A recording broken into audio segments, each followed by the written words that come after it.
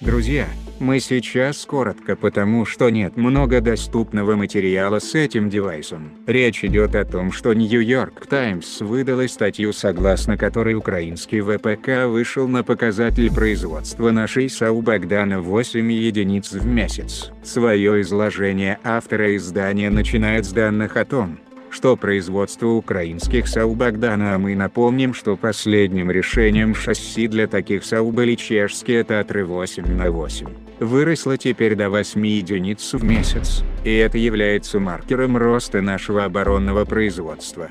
Если посмотреть как бы со стороны, то это очень важная новость, которую журналисты этого издания могли получить разве что от источников в самой Украине например от украинских чиновников. Далее авторы The New York Times пишут о данных с которыми они ознакомились из документов украинского правительства и там цифры еще более интересны. Там говорится, что наши оборонные предприятия в три раза увеличили производство бронетехники. Имеется в виду наверное такие девайсы как БТР-3 или 4 Новаторвард и прочее подобные. И в четыре раза увеличили производство противотанковых ракет.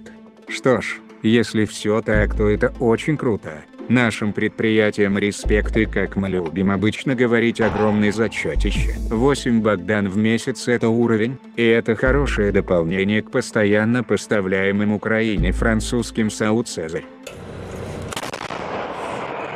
Поэтому друзья, для тех, кто не подписан на канал, подписываемся, жмем колокольчик, чтобы не пропускать наши новые видео и ставим лайк.